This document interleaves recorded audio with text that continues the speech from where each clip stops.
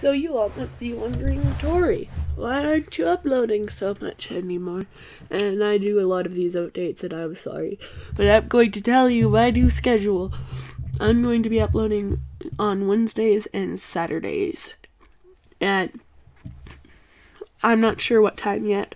You'll have to be patient with me, but that is going to be from now on my new schedule until I can just be like chill and just go with the flow and whatever. Also, like I said, my gaming channel will start having content soon. And yes, I'm sick again. I'm in bed under a blanket, so don't hound me for making a video while I'm sick. I'll see you next time. Bye. Love you all.